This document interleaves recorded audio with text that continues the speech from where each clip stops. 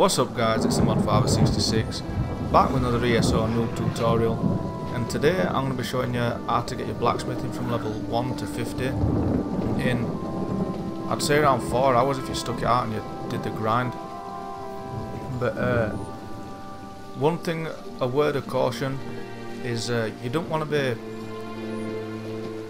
I won't say glitching but spamming your blacksmithing all the way to 50 if this is your main character because well you can do if it's your main character and you are above CP 150 because how the blacksmithing works in ESO is the more that you train it up and the higher level you get you will make armor for that specific level. Like it's not like um, Skyrim or Oblivion or Morrowind where you can make glitch your blacksmithing skill all the way up to the highest rank and then just wear the best armor and just boss your way through the game. It levels you up as you progress, so you're making armor for your current level. So if this is your main character, just play the game as you would, level up normally, and then use this method to get your blacksmithing up to that level that you are, if, if it's not already caught up, which it, pretty sh it should do. It did do on my main character, but if this is a second character that you're wanting to use just for blacksmithing, and you want to just spam shit out of it, get all the highest level gear, then by all means do this method. But anyway guys, into the video. As soon as you start you can come to this area, if you just keep going to the uh, the navigators at the ship ports, and you just keep going to different areas. If you go to the area called Bangkorai, um, it, it'll fetch this area called Evermore which is where we are now. We're at the bottom of Evermore. We're behind the bank. That's the place we need to go to. But if you go to the shipwrights, keep asking to travel to different places and you will eventually get to Bangkorai and this is the first place that will fetch you. So when you get to Evermore, you're going to want to come to the bottom part of the map. Deposit everything that you've got in your bank because you will need every inventory slot available that you've got. Like this is a new character that I had to create so I've only got 60 slots. I did plan on doing it with my main character so you could see him hitting level 50 but little did I know it that I asked for some uh, intricate items off some guild members and I dismantled them all and that did actually get me to blacksmithing 50 so I made this character and I'll be showing you from blacksmithing level 1 if uh, if you're just going for the blacksmithing rank ignore all these barrels and stuff but this is a good place to get provisioning materials and also items that can sell to a, a fence. I haven't forgot to have the Thieves Guild part, I have, so I could use the fence in the Thieves Guild. But anyway, this is just for the blacksmithing.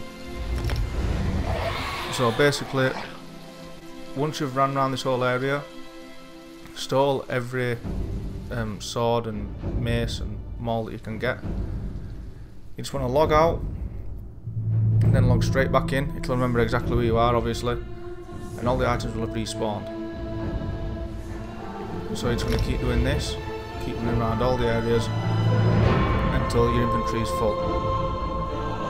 One thing to note is that if you've not got ESO Plus the craft bag, make sure that you leave at least four spaces free in your inventory, so that way it'll collect all the ingots and uh, honing stones and stuff like that. But if you have got ESO Plus in the craft bag, just keep going until it says inventory full.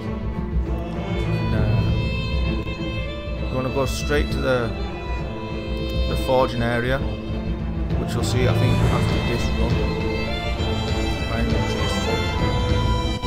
It's just to the side. If you go across the road from the bank, you can jump over a wall, which you'll see, and you can de deconstruct all your items there. So I'll catch up to you once we're down at the bottom.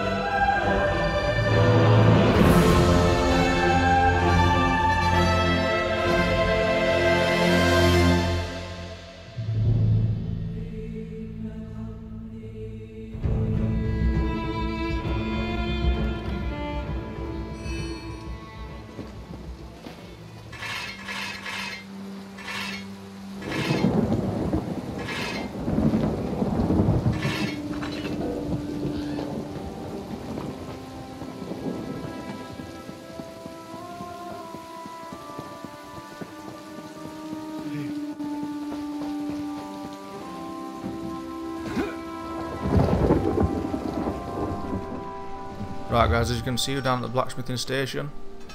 And all that stuff that you've just stole, you're just going to want to deconstruct. And you'll see how quickly the, uh, the level will go up. Now obviously if you've uh, paid for the backpack upgrade, then uh, you'll be able to hold up more items. I've got 90 on my main I think, that's not full, that's about half I think the maximum is 130. So you will be able to for full level on the blacksmithing after I think it's two or three visits to the blacksmithing station which doesn't take long as you can see. That run only took me like I think four minutes. But the thing I was getting at before whereas you don't want to glitch all the way to level 50 if you're a lower level. Because this character's only level 6 I think.